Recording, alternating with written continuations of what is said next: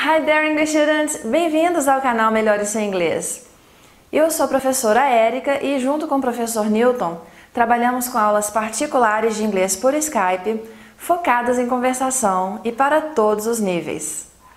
Hoje nós vamos ver alguns adjetivos para descrever pessoas em inglês. Let's get started! O caráter de uma pessoa é a sua personalidade, como as pessoas são por dentro. Quando a gente descreve alguém, podemos mencionar como essa pessoa é por dentro.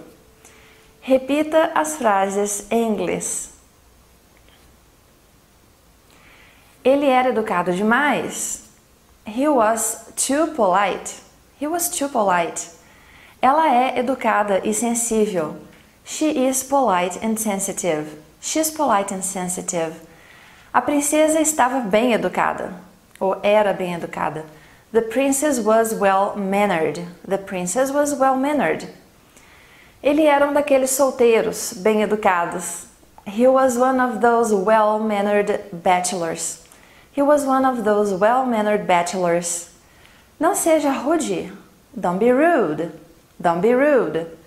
Eles são tão grosseiros. They are so rude. They are so rude.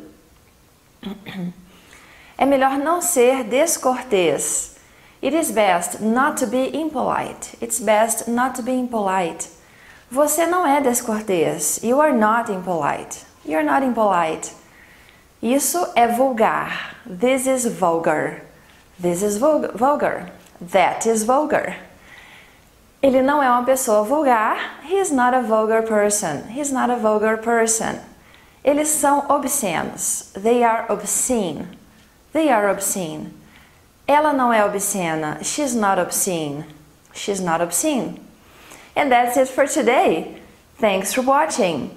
Escreva nos comentários uma frase parecida com essas que eu falei no vídeo e melhore seu inglês. Se você gostou da nossa dica de hoje, dê um like, se inscreva no nosso canal Melhore seu inglês. Siga-nos também no Instagram, Facebook e podcast Melhore seu inglês. Para aulas particulares de inglês por Skype, basta entrar em contato comigo ou com o professor Newton. Um grande abraço and see you next class.